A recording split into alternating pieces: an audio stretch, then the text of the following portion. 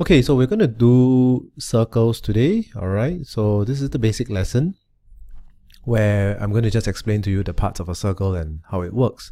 So most importantly, you have a circle over here, alright? And the key things, the two key terms that you need to know is that from the middle to the edge of the circle, this line is known as the radius of the circle okay? So for a circle there is basically infinite uh, number of radii like that. Now uh, if you look at a circle there are a few key parts. So this radius is one of them. And if you take the widest point of a circle which is from here to here that is known as the diameter of a circle. Okay, so this part is known as the diameter. Let me just erase this away. So this part is known as the diameter of a circle.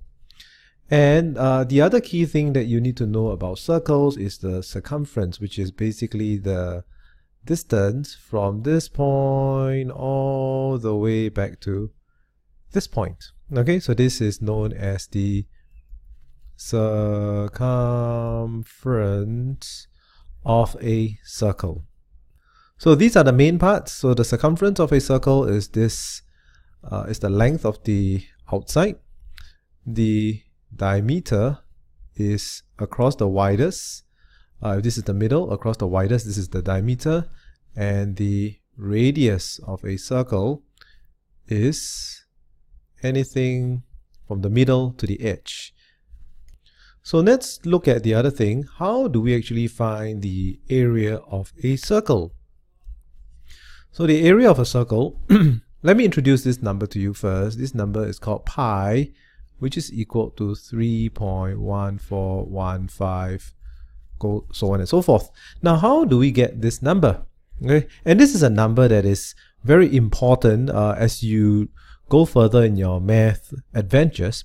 You'll find this number popping up in different uh, formulas in, in, in unexpected places. All right. Uh, so how do you get this number is basically you draw a circle and you find the circumference of this circle.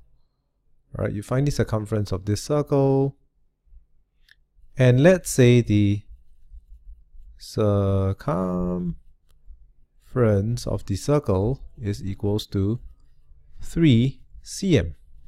Okay, so this is equals to 3 cm. And then you find the diameter. And you find the diameter and you realize the diameter is 1 cm. And then if you take the circumference divided by the diameter, you realize they have a ratio of roughly 3. Now if you take circles of different sizes, if you take a large circle like this, large circle, you find the circumference of this circle and you divide it by the diameter, you will get also roughly 3. And if you take a small circle like this, again the circumference over the diameter is also roughly 3. And after a while, you find out that whatever size of the circle you take, if you take the circumference divided by the diameter, it is always 3. And as people got better at measuring the circumference and measuring the diameter, they realized that the uh, the value is not really 3, but is 3.1415 and so on. All right, the decimal places goes to millions of decimal places, and this is one of the most famous numbers uh, in math. So now, if we want to find, if we know that circumference and diameter get circumference divided by diameter gets you this. So if I want to find the circumference, it basically means I need to take 3.1415 times the diameter. All right, I simply move this number up. Divide becomes times. So circumference becomes this times this equals to, I can also say it's, uh, if I if I say that this is pi, and I can say the circumference is pi times d, which is diameter, or I can say it's pi times 2 times radius, alright? Which is also known as 2 pi r. So how do we find a circle? The circle is a bit more complicated, so I'll just give you the formula. Alright, circle is equals to pi times r squared. Okay, so again r is the radius of the circle. So if you also equals to pi times r times r. So that's the radius. Now the question is how to remember the formula. Okay, so you can say area equals to pi r squared. Now one of my other students used this method to remember. So he basically remembered that area sounds like air and the square is floating in the air. All right. And then circumference is then the other one which is 2 pi r. Okay. Or you can think of it as circumference is on the ground. Okay. To recap for a full circle which is a normal circle like that the area equals to pi r squared. Okay. Remember areas for air and uh, square is like floating in the air. The circumference equals to 2 pi r. Now how do you find the area of a semicircle? All right a semicircle looks like that. So it's half a circle. Okay so semicircle looks like this. This is the center point and this is the radius. So how do you find the area? If you notice, the area of a semicircle is half the area of a full circle. Alright, so area of semicircle equals to half times pi r squared. And that's the answer. All right, so area is half times pi r squared. Now, how do you find the circumference of a semicircle? So the circumference of a semicircle is this part plus this part plus this part. So it's actually half times 2 pi r. Now half times 2 pi r only gets you this part okay so it's important and you need to add in this and this so it's plus 2r so this is equals to the circumference of semicircle okay what about the area and circumference of a quarter circle so a quarter circle looks like this you have the r over here as well how do you find the area and the peri and the circumference? Uh, so circumference is also known as the perimeter. All right. So the difference between the word circumference and perimeter is circumference means just this part. And perimeter means you have to add this and add this. So area is equals to, if you notice, a quarter circle is one quarter times a the area of a circle, which is pi r squared. All right, so that's the answer. Uh, and the perimeter, let's rub this away. The perimeter is equals to 1 quarter times 2 pi r. So if you remember, uh, this is your circumference of a full circle. And the perimeter, you have to add this r as well as this r. So it's at 2r. So this entire thing is the perimeter of a quarter circle.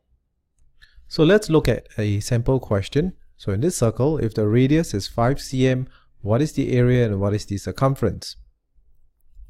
So the area is pi r squared and that's equals to pi times 5 squared equals to 25 pi cm squared, which is equals to 78.54 cm squared. All right, and the circumference is equals to 2 pi r, which is equals to 2 times pi times r is 5 cm, which is equals to 31.41 cm squared. Okay, let's look at another one. If the diameter is 20, what is the radius, area, and circumference? So first thing you need to do is write out the radius.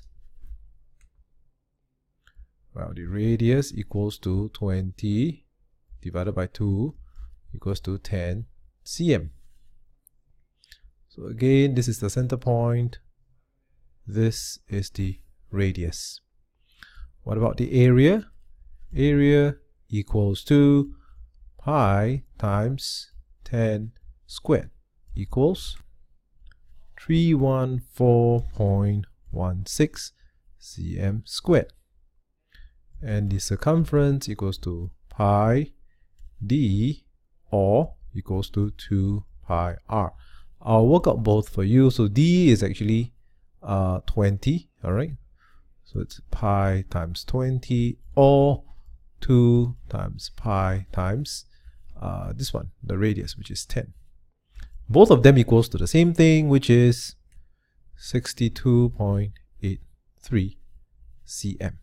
Okay, so that's how you work out uh, radius, area, and circumference if they give you diameter. Okay, let's look at the next question. If the radius of the semicircle is 10 cm, what is the area and circumference? So radius equals to 10 cm.